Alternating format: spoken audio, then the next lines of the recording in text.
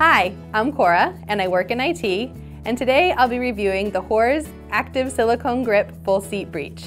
I love these breeches because they're a great fit and they're super comfy. The silicone full seat is uh, grippy enough to make me feel secure in the saddle, but not too grippy so that I can still move freely. I love that the material is super flexible and doesn't restrict any movement while riding. And most importantly, the price on these breeches is amazing. What differentiates these breeches from others is the soft, stretchy material. I feel like I'm riding in my favorite pair of yoga pants. Another great feature about these breeches is the front zip pocket. It's a perfect place to store treats for my horse.